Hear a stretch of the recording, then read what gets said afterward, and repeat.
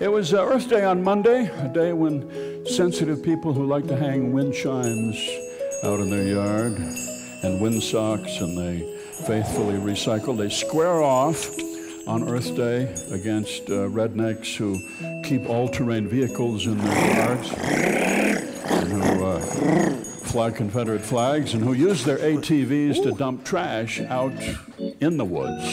Back it up there, Cletus. Come on, let her rip. And of course, a person ought to side with the sensitive, gentle people, except that I hate wind chimes. I can't stand that constant dinging.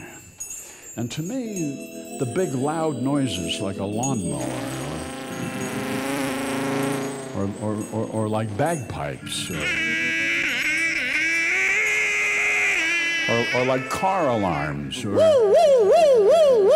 or the, or the fast train into Waukegan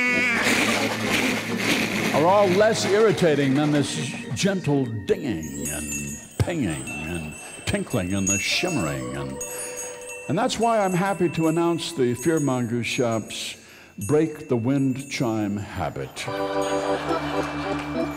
Wind chimes can be very confusing to bats, bats who eat mosquitoes, and so you wind up with more mosquitoes, millions of them, and they never go away.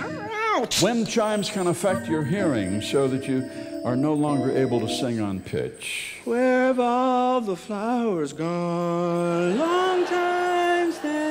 Wind chimes may interfere with your dog's instinct to defend the home and make your dog welcome bad men into the house. Hey, where do you keep the jewelry, buddy boy, huh? Wind chimes may cause your children to do worse in math.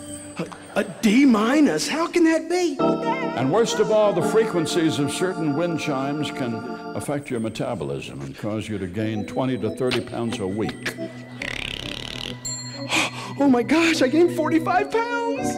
If you own wind chimes, please limit yourself to just two hours a day. And if you turn in your wind chimes this week to the Fearmonger shop, they will pay you $5 per set of wind chimes. Let's start the spring and the summer in a mood of cooperation and peace.